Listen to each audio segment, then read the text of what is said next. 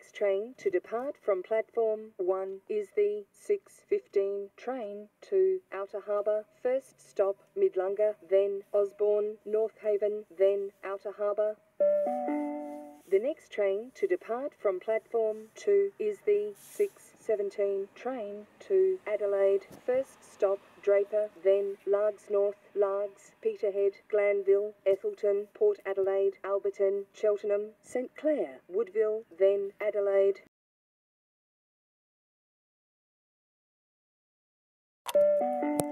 The next train to depart from platform 1 is the 6.15 train to Outer Harbour. First stop Osborne, then Outer Harbour.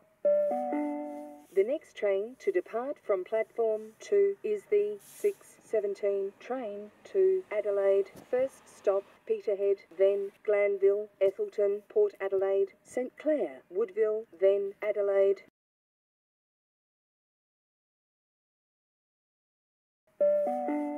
The next train to depart from platform 2 is the 6.17 train to Adelaide. First stop Draper, then Peterhead, Glanville, Ethelton, Port Adelaide, Alberton, Cheltenham, Woodville, then Adelaide.